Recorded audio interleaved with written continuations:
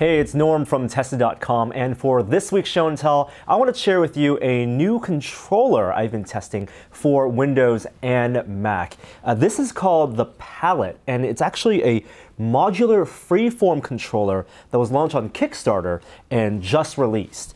Uh, what it is, is it's a modular uh, analog control system, uh, well, digital control system, but with analog buttons. Uh, what you get in this set, which is the expert kit, are eight modules. So what start you start off with is this base module, which has uh, a nice screen, a color display, and you connect different modules to it uh, with magnetized edges from each any of these three sides. So for this kit, which comes with buttons, sliders, and dials, I can actually connect them in different configurations, pop them off, connect them different ways, and then once I plug it in to this control module, then this lets me control productivity software. Uh, it works best with Adobe's Creative Cloud, the new one, 2015, uh, once you have the extension uh, manager installed. Now I've been using it for Photoshop and Lightroom. Um, the way it works, it plugs in over USB, it's the computer, and then there's a desktop application which I can load up, and in there I, it will recognize the actual configuration of all the buttons, and then from there I can program each of these to be something unique. So for example, the way I have it set up, I have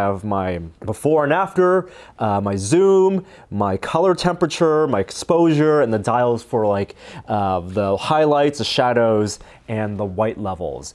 Uh, it's really responsive, so even in Lightroom, when I slide this dial, you can see that the color temperature will change on the fly and exposure will change on the fly. And what I like what it does is that it lets me focus less on numbers and more on the image itself. So if I'm looking at a photo, instead of thinking about it in terms of the color temperature, is this, you know, 400, 4,000 Kelvin, you know, 10,000 Kelvin, I can actually just slide it and have it look the way I want, I think it should look without being locked down and then just copying and pasting settings. And I've been using this in combination with keyboard shortcuts. You can also bind these to different keyboard shortcuts as well.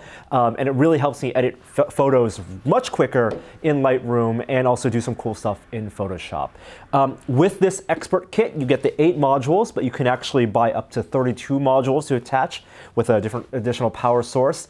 Um, it is a little pricey at $225, but um, I think even with two sliders, the three dials, and two buttons, you can do a lot and well complements a mouse and a keyboard uh, with Adobe Lightroom and Photoshop, and even Premiere Pro if you're into that.